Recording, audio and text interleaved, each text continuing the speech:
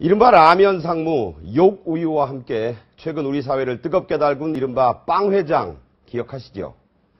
서울의 한 호텔에서 주차 관리원을 폭행했다가 비난이 커지자 갑자기 회사 문을 닫겠다고 했는데요. 그런데 10일도 지나지 않아서 은근슬쩍 슬며시 다시 회사 문을 열었다고 합니다. 최석호 기자가 단독으로 보도하겠습니다. 지난달 서울의 한 특급 호텔에서 주차 문제로 시비를 벌이다 주차 관리원을 때린 프라임 베이커리 강수태 회장. 이 사건을 두고 각종 패러디물이 등장하기도 했습니다. 문제가 커지자 빵을 납품받던 코레일이 해당 업체의 제품을 회수했고 업체 측은 폐업을 발표했습니다. 코레일에서 안 받아주, 안 받아준다 하니, 수정할 수 있었고요. 그래서 저희는 뭐 폐업 결정을 하지만 비난 여론이 잠시 수그러들자 지난주부터 다시 영업 준비에 들어갔습니다.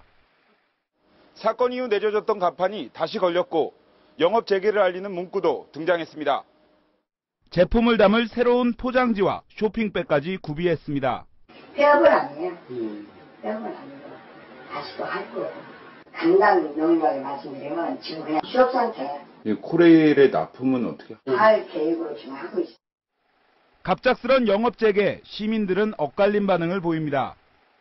본인이 안 한다고 또 해놓고 다시 번복하는 거는 회장님 답지 못하다 그런 생각이 드네요. 그 폐업한다고 했을 때 그 근무하시는 분들에 대한 걱정이 많이 컸잖아요. 근데 다시 지금 재개 어, 사업 재개를 하신다니까 일단 그 부분이 좀 걱정됐던 부분이 해소돼서 다행이기는 한데 영업 재개에 앞서 잘못한 행동에 대한 사과와 재발 방지 약속을 잊었다는 지적도 일고 있습니다.